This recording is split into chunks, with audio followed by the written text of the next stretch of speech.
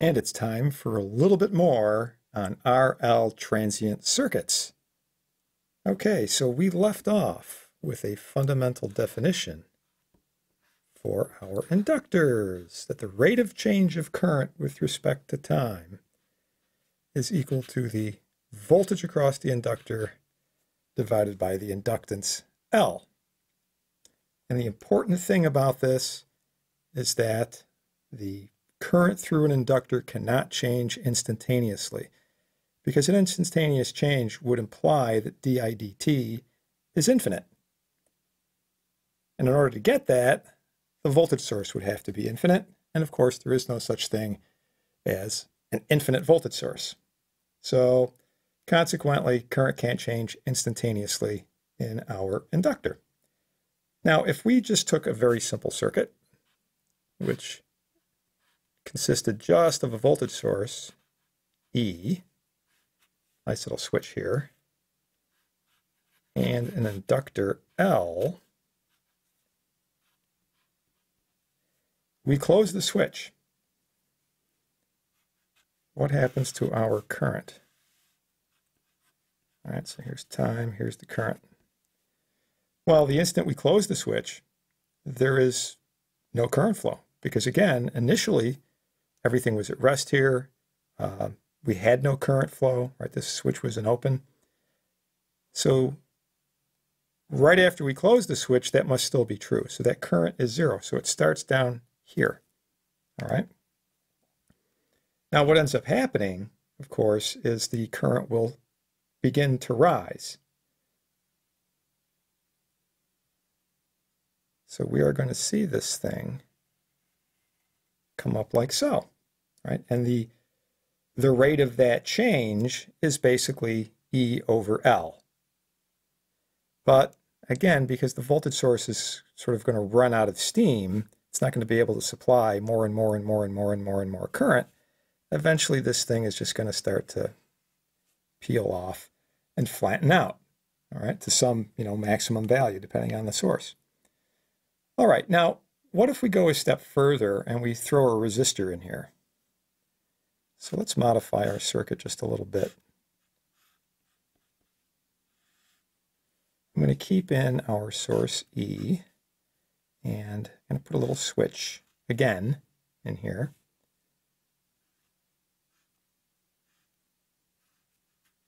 Got position one, position two. Now we have resistor R and an inductor out here. So far, so good. All right. So we start in position one.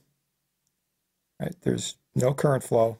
We close the switch. In other words, complete the circuit, and we see what ends up happening. So let's do a couple little plots over here. Okay, I'm going to do um, a current plot over here. Now I want you to notice that this current, matter of fact, let's do this in a couple of different colors. This current I and the voltage across R have the same exact shape, right? Because after all, this is um, controlled by Ohm's law. So as the current changes, so does the voltage, all right? Okay, so initially what ends up happening is we get a trajectory of current, what we had over here. In other words, you get an initial trajectory of E over L. So this thing starts up like this. Okay, this is what it, this is what it's tending towards. Put a little dotted line in over, over here. So that slope, that initial slope is E over L. Okay? The current, of course, um, is zero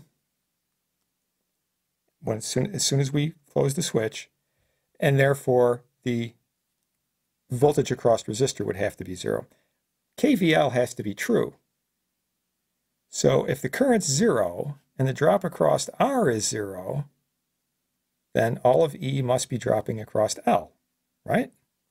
So we see this same thing. I'm just going to kind of parrot it like this.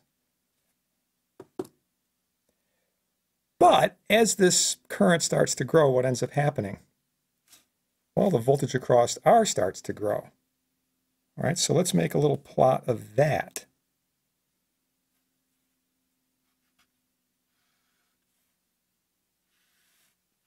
So here's my uh, VL value, right? So as I said, the VR is going to start growing, my green plot over here, and the VL is going to start to decrease because of KVL. KVL says that E has to equal the drop across the resistor plus the drop across the inductor. So what do we see over here for this guy? Right, this thing starts up here at E and then immediately starts dropping. All right? Okay, so as this drops, there's less voltage across the resistor. Uh, excuse me, as as yeah, as as this drops, let's get this straight now. As this voltage drops, there's more voltage across the resistor, which means that there's uh, a higher current. Okay. Now, as that goes up, the voltage that's left changes the slope. Okay. Initially, there was no drop across R. So we got all of E across L, and that gave us this initial really steep slope. But as the current rises, more of E is taken up by R, right? So the other way you could look at this is that VL, right, is going to equal E minus VR. So as that current climbs, this goes up, which means VL goes down, but because VL goes down, that's what's setting up the current. And we have this little kind of a circular thing happening, right? Um, so as that voltage drops, then the slope also drops. Right? So as VL drops, VL over L drops, which means that the slope is dropping. So this thing goes like this. It starts to peel off. The longer we wait, the uh, the larger the current becomes. Right, so the current is just echoing this. All right, and what ends up happening is, as this guy starts to drop, now eventually this thing is going to head towards zero, and all of E is going to drop across R. But the smaller this gets, the slower this becomes. So this thing really just kind of does one of these, as does the VR. All right. So, you know, where does this wind up? Okay, you know, where do we where do we um, finally limit ourselves? Well, this current right here, right, where this thing eventually flattens out, the maximum current you can get would be to have all of that voltage source dropping across the resistor, meaning there's nothing sitting across the inductor. All right. Okay, how long does that take? Now, this is a similar situation we saw with the with the uh, capacitor.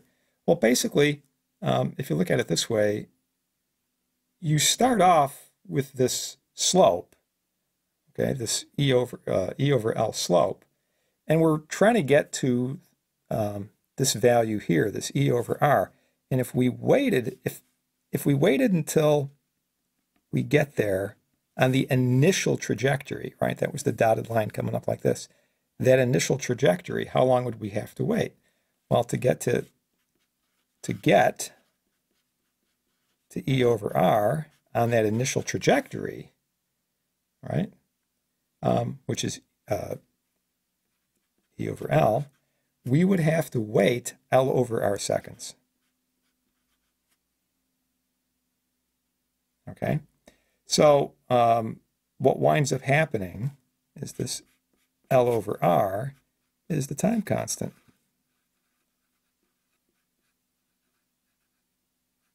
All right, so in other words, if you multiplied the slope by this period of time, you would have gotten that uh, maximum value, right? So L over R is a time constant, tau. Just like what we saw with the capacitor. time constant there was you know RC. Here it's L over R. So it's inversely proportional to the resistance. Cap, bigger resistor, bigger cap, longer time constant. With an inductor, the bigger the inductor, the longer time constant, but the bigger the resistor, the smaller the time constant. All right, so that's an inverse sort of relationship. But you know, this curve that I'm drawing here, it should look familiar. It's the same equation that we have um, for the capacitor. And guess what? Steady state is going to be reached in 5 tau again. No big surprise there.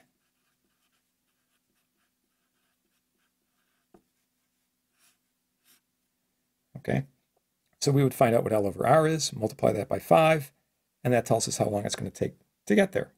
Okay, so do we remember what those uh, shapes are, right? Those are exponential shapes. So the falling curve, the discharge curve in this case, or I shouldn't call it the discharge in this case, but um, it will, well, it will be because we're going to see a charge and a discharge. Right now we're on charge phase.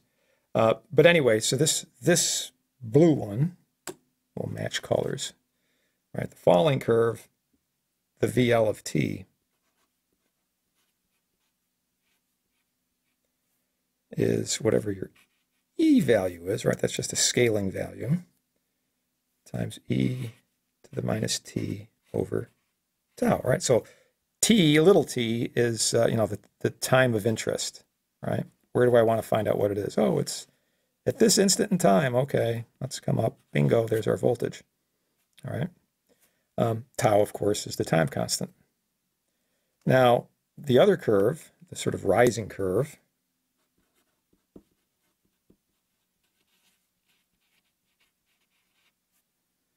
All right, so this is uh, your I value or your uh, V of R value. So your I value, I'll write them both down here. So I of T is going to be that maximum current, right, which in this case is E over R, times the quantity, 1 minus e to the minus t over tau. Okay?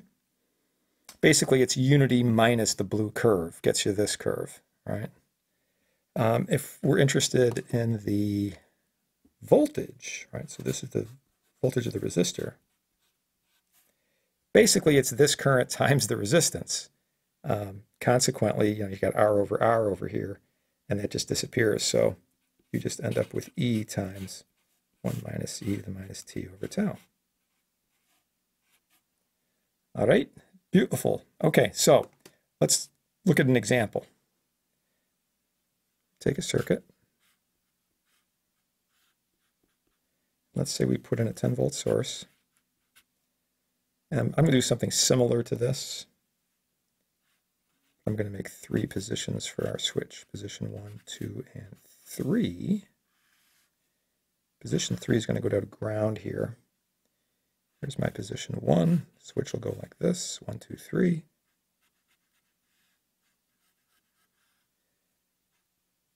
Put in a 1K and a 1 millihenry.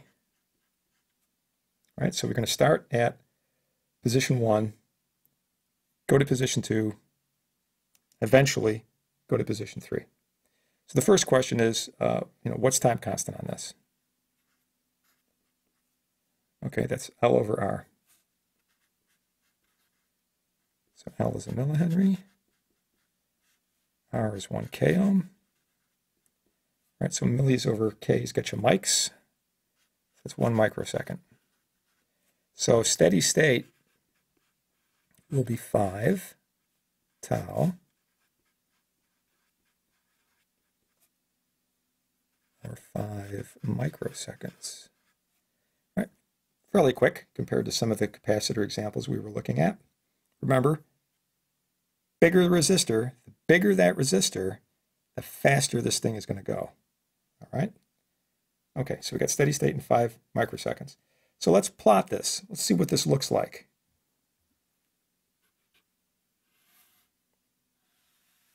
You know, and if you're thinking, hey, when are we going to hit position three? Well, we're going to hit it soon enough. All right, so I'm going to do uh, current again do that in red again. So what we would expect is this thing to start at zero? Because at position one, again, there's no circulating current. So current can't change instantaneously. We go to position two. So right at this instant, we go from position one to position two. Boom, we connect up. Initial current zero, but it's going to start at this rate that's 10 volts over a millihenry, right? You could figure out, right? 10 volts over a millihenry is like 10,000 volts per second. Um, well before we get to 10,000 volts, you know, we're going to plateau at 10. So what ends up happening here, uh, the maximum current we're going to get is when this voltage falls to zero and uh, all the 10 volts drops across the 1K. Right, so that E over R value, that's our maximum value. That's 10 volts over 1K. So this thing is going to max out at 10 milliamps. Right. Put a little construction line over there. Okay, so this thing kind of comes up and eventually flattens out. So how long does it take to get there? Well, you know, it takes basically five microseconds. All right. Now, uh, the VR, if we want to do the VR again, um, we'll just essentially trace this, right? Just kind of like I did before. So here's my VR. It's basically going to follow the same thing up. Just going to draw it kind of underneath it so we can see it. And of course, that's going to um, max out at the total power supply at 10 volts. So this value here is going to be 10 volts. All right. Okay. Beautiful. Now, VL. Again, remember the KVL. VR and VL have to add up to E, has to add up to 10 volts. So what do we see? VL goes like this. All right. And again, after five microseconds, we're pretty much at zero volts. Okay, so at some point after that, you know, I don't know exactly where, but at some point after that, we'll say we throw the switch from uh, position two to position three. All right, we'll say it's right at this instant here. What ends up happening? Again, current cannot change instantaneously. So at this point, right, right before I throw the switch, what's happening? You have a current flowing like this, and that current is equal to 10 milliamps.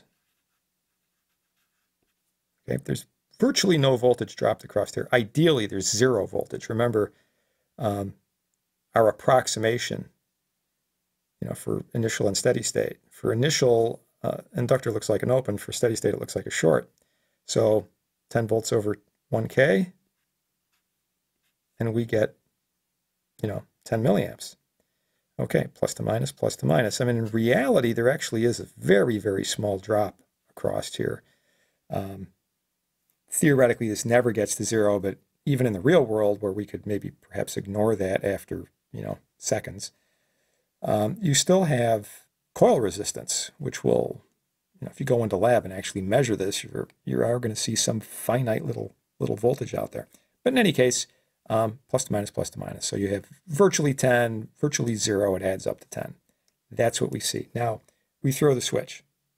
Current can't change instantaneously, so that must still be true. But you no longer have this source in there, right? Now when you go to position three, you have this all you have left is the uh, uh, inductor and the resistor. But the current's still flowing in this direction. Can't change instantaneously. So what ends up happening? KVL still has to be true. Well, look at this. You know, if this is plus to minus, then this thing, the voltage across the inductor, has to be minus to plus. And this potential and this potential are going to have to be the same magnitude. But if you have this polarity and the current is coming out of the plus, what does that mean? It means the inductor is now acting like a source, right? So the energy that was stored in the magnetic field is now being released back into the circuit, back into the resistor in this case. So what do we find happening? Well, as long as I have the red pen here, let's continue with the current. Um, that is going to start to decrease. So we're going to get this discharge curve, right? The falling curve that I alluded to earlier. And it's going to do this deal. Now, we still have 1K in here, and we still have 1 millihenry. Uh, so the time constant has not changed, right? That's still going to be 1 microsecond. It's still going to be 5 microseconds to get to steady state. So wherever we threw this switch 5 microseconds later, um, we're going to be basically at zero current. Okay? And again, the, um, the voltage across uh, the resistor is going to just track this. But what happens to the voltage on the inductor? Again, remember KVL. If you go around a loop, it's got to sum to zero, right? Or sum of rises equals sum of drops, however you want to say that. So that's plus to minus, that's um, minus to plus in this, in this form, in position three. So basically, the uh, with respect to ground, the polarity on the inductor has flipped, that's a negative voltage, right? There's your minus sign. Here's your ground. So this voltage spikes down, goes negative. It in fact goes to minus 10 volts. Right? Here's your plus 10 on the resistor. Here's your minus 10. And then this thing is going to fall back towards zero. So again, you could look at this distance. That's like the KVL proof because you only have the two things. You have VL and you, and you have VR, right? VL and VR. That's going to have, have to sum up to zero. So here's your VR, here's your VL. Boom. Five microseconds later, there you go. Okay, thing is flat. Basically, all the energy has been dissipated. All right. Now for a practical thing. Let's say you go into lab and you try to build this up. Okay, you get a nice fast digital scope to measure the potentials and so forth.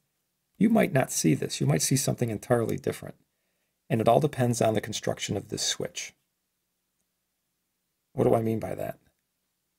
Construction of the switch. Well, the question is, do you have a break before make switch? Or do you have a make before break switch? Huh? Basically, does this switch, right? You think of this as a little like wire that's swinging back and forth, right, on two contacts. Does it break connection to two before it makes connection with three? Or does it make connection with three before it breaks connection with two? You could get um, switches that you know work one way or the other. A standard toggle switch is going to break before make, but you could get a wafer switch that's make before break. Well, if you have a standard toggle switch that's a break before make, right? So, so what ends up happening is at, a, at an instant, we'll, we'll say it's a split instant, this thing is traveling between two and three, right? So it's like here, it's in, you know, nowhere land. It hasn't actually connected. So what do you have in that case? Well, what you, what you have is this resistor and this inductor and essentially an open circuit out here because it hasn't made contact yet. But again, current can't change instantaneously. Uh, hey, what happens? If I still have um, you know 10 milliamps coursing through here, what's the resistance of this open?